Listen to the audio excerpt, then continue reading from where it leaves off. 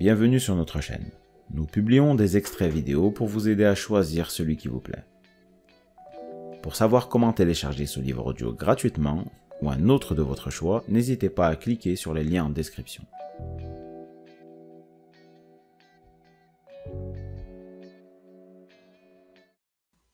naturel, qui a évolué par tâtonnement durant des millions d'années, est beaucoup plus efficace quand nous n'essayons pas de le combattre. Mais ce n'est pas toujours facile, car nos émotions ne sont pas nécessairement fiables. Dans certains cas de figure, elles nous aident à percer les apparences et les faux semblants, faisant alors office de radar interne qui nous communique des informations exactes et fiables sur une situation donnée. N'avez-vous jamais eu l'intuition qu'un type ment ou que quelque chose ne va pas, même si votre ami affirme le contraire?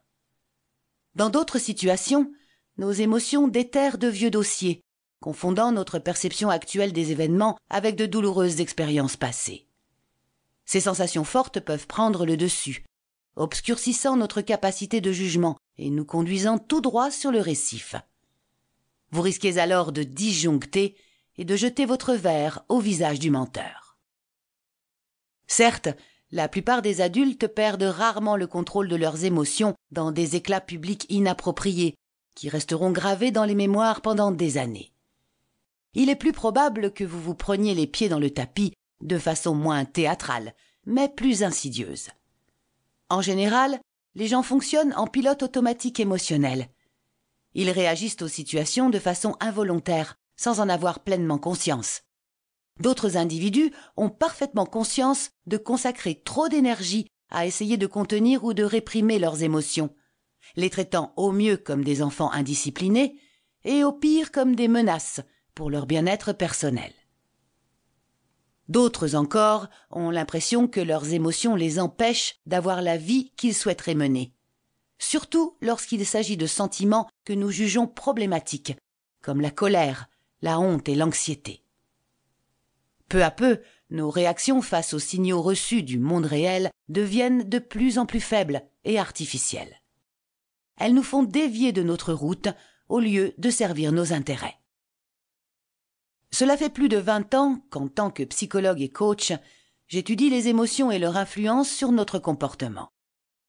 Quand je demande à mes clients depuis combien de temps ils essaient de déceler, de corriger ou de venir à bout d'émotions particulièrement délicates ou de situations qui les suscitent, ils me répondent généralement qu'ils s'y efforcent depuis cinq, dix, voire vingt ans. Certains me répondent même depuis que je suis tout petit. Ce qui appelle inévitablement la question suivante Diriez-vous que vos efforts portent leurs fruits? L'objectif de ce livre audio est de vous aider à prendre davantage conscience de vos émotions, à apprendre à les accepter et à faire la paix avec elles, puis à vous épanouir en stimulant votre agilité émotionnelle.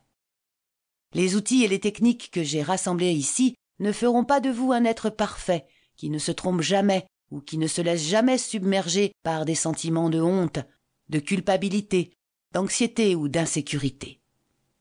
Viser la perfection, ou un bonheur sans nuage, ne fera qu'engendrer la frustration et un sentiment d'échec. Au lieu de cela, j'aimerais vous aider à maîtriser vos émotions, aussi vives soient-elles, à accroître votre capacité à apprécier vos amis, à atteindre vos objectifs et à vivre votre vie pleinement. Mais ce n'est que la partie émotionnelle de l'agilité émotionnelle. La partie agilité s'adresse aussi à vos schémas de pensée et de comportement ces habitudes de l'esprit et du corps qui peuvent aussi vous empêcher de vous épanouir, surtout lorsque, à l'instar du capitaine du téméraire, vous réagissez invariablement de la même façon obstinée face aux situations nouvelles ou différentes. Les réactions rigides peuvent découler des mêmes pensées défaitistes qui remontent constamment à la surface. Je suis un bon à rien. Je ne fais jamais le bon choix. Ou je cède toujours au lieu de me battre pour ce que je mérite. La rigidité peut provenir de l'habitude parfaitement normale qui consiste à emprunter des raccourcis mentaux et à accepter les présomptions et les règles empiriques qui vous ont servi autrefois, dans l'enfance, dans un premier mariage, à un stade précédent de votre carrière, mais qui ne vous servent plus aujourd'hui. On ne peut pas faire confiance aux gens, ou je vais y laisser des plumes. Des chercheurs ont démontré que la rigidité émotionnelle, se cramponner à des pensées, des sentiments et des comportements qui ne nous servent pas, peut être liée à diverses pathologies psychologiques comme la dépression et l'anxiété. Si ce livre vous a plu, vous pouvez alors le télécharger gratuitement. Pour savoir comment faire, cliquez sur le lien en description de la vidéo. N'hésitez pas à commenter pour nous informer des extraits de livres audio que vous aimeriez écouter. Pensez à liker et à vous abonner pour ne rater aucune vidéo.